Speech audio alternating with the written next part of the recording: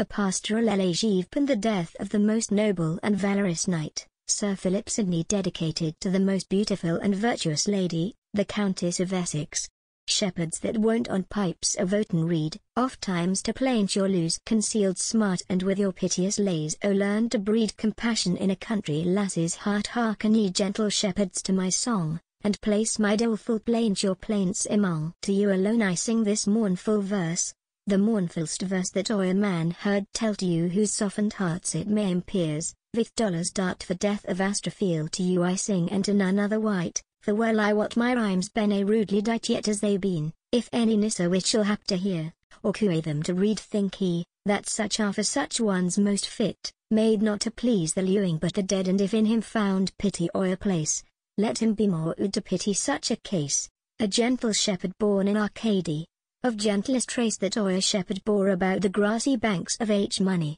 did keep his sheep, his little stock and store full carefully he kept them day and night, in fairest fields, and Astrophel he hight young Astrophel the pride of shepherds praise, young Astrophel the rustic lasses loo far passing all the pastors of his dyes, in all that seemly shepherd might bow in one thing only failing of the best, that he was not so happy as the rest. For from the time that first the nymph his mother him forth did bring, and taught her lambs to feed a slender swain excelling far each other, in comely shape, like her that did him breed he grew VP fast in goodness and in grace, and doubly fair works both in mind and face which daily more and more he did augment, with gentle visage and demeanour mild that all men's hearts with secret rawishment he stole away, and weetingly beguiled knee spite itself that all good things doth spill, found aught in him, that she could say was ill, his sports were fair, his eance innocent, sweet without sore, and honey without gall and he himself seemed made for merriment, merrily masking both in boar and hall there was no pleasure nor delightful play, when Astrophel so I was away for he could pipe and dance, and carol sweet, amongst the shepherds in their shearing feast as summer's lark that with her song doth greet.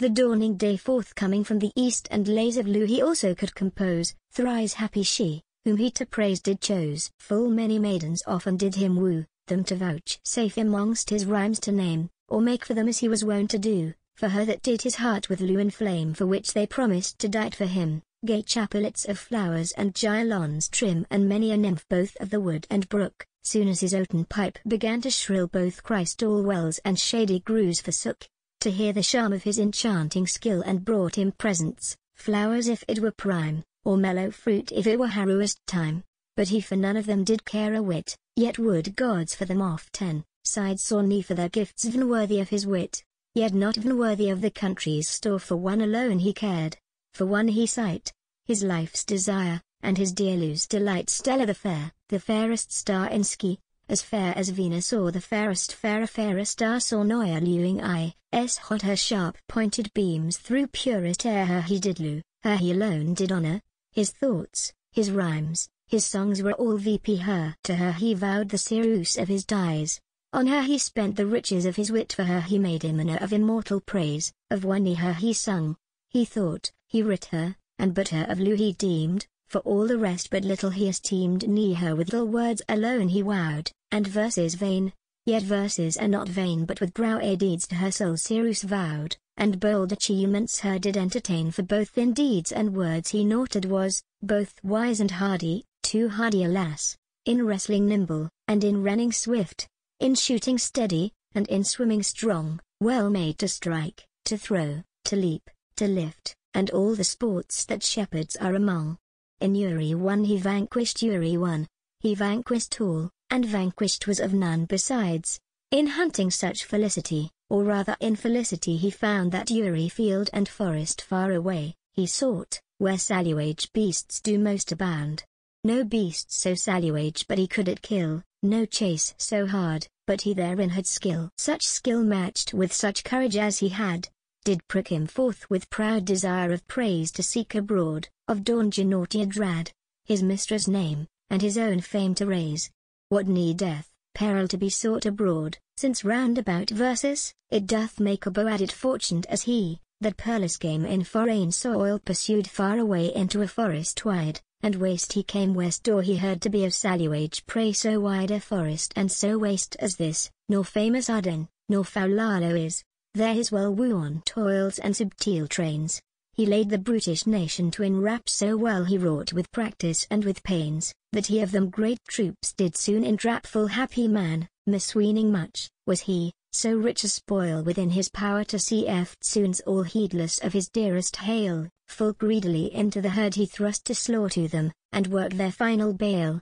least that his toller should of their troops be bruised wide wounds amongst them many a one he made, now with his sharp boar spear, now with his blade, his care was all how he them all might kill, that none might scape, so partial to none ill meant so much to mend in others ill, as to become mindful of his own but pardoned that to the cruel skies, that from himself to them withdrew his eyes so as he ragged amongst that beastly rout, a cruel beast of most accursed brood of him turned, Despire makes cowards stout and with fell tooth accustomed to blood, launched his thigh with so mischievous might, that it both bone and muscles hewed quite. So deadly was the dint and deep the wound, and so huge streams of blood thereout did flow that he endured not the direful stound, but on the cold dear earth himself did throw the whiles the capsule heard his nets did rend, and owing none to let, to wood did wend ah where were ye this while his shepherd pairs, to whom Alu was naught so dear as he and ye fair maids the matches of his years, which in his grace did boast you most to be. Ah where were ye, when he of you had need,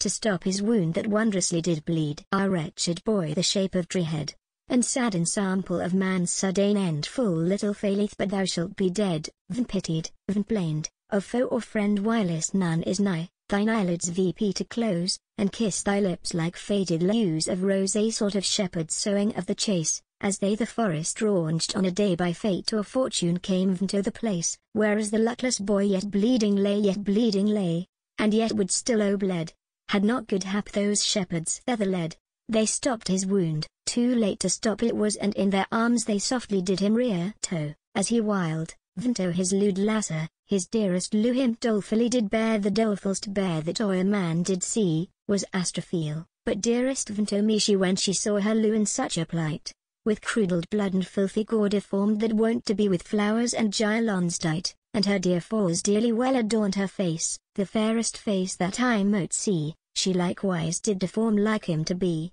her yellow locks that shone so bright and long, as sunny beams in fairest summer's day she fiercely tore, and with outrageous wrong from her red cheeks the roses rent away, and her fair breast the treasury of a, she spoiled thereof, and filled with annoy his palled face impictured with death, she bathed oft with tears and dried oft and with sweet kisses sucked the wasting breath, out of his lips like lilies pale and soft and oft she called to him, who answered naught, but only by his looks did tell his thought, the rest of her impatient regret, and piteous moan the which he for him made no tongue can tell, nor any forth can set, but he whose heart like sorrow did inward at last when pain his vital powers had spent, his wasted life her weary lodge forwent which when she saw, she stayed not a whit, but after him did make timely haste forth with her ghost out of her corpse did flit, and followed her make like turtle chased to prove that death their hearts cannot died, which lewing were in lieu so firmly tied, the gods which all things see,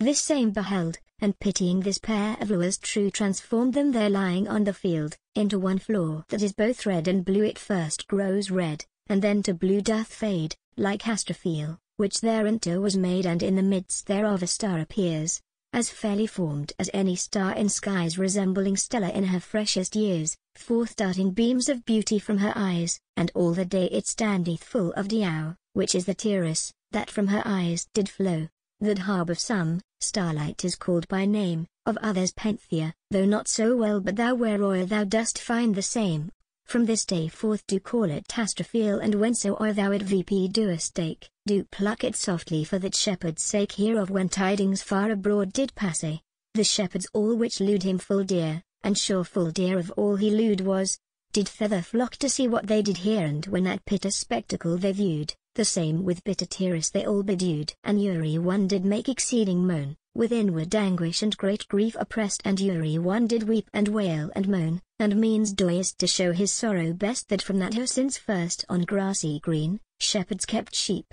was not like a morning scene,